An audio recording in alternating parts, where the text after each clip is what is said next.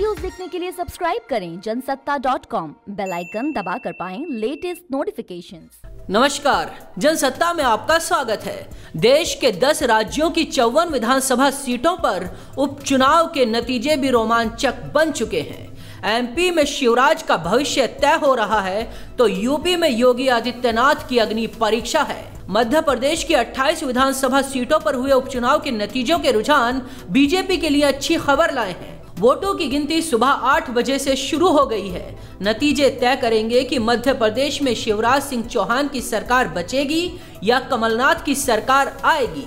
शुरुआती रुझानों में 18 सीटों पर बीजेपी और 8 सीटों पर कांग्रेस आगे चल रही है।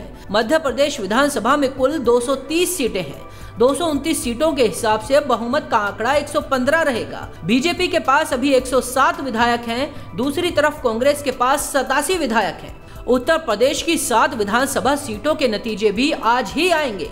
सुबह आठ बजे से यहाँ भी गिनती शुरू हो गई है। एग्जिट पोल के आंकड़ों के मुताबिक, फिरोजाबाद की टुंडला, अमरोहा की नौगावा, कानपुर नगर की घाटमपुर, उन्नाव की बांगरमऊ, जौनपुर की मल्हानी और देवरिया सदर के साथ साथ बुलंदशहर सीट पर उपचुनाव हुआ है।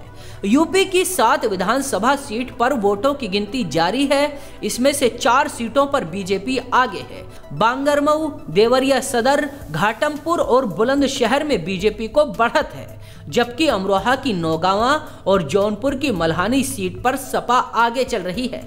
उपचुनाव के नतीजों की हर खबर के लिए देखते रहिए जनसत्ता डॉट कॉम।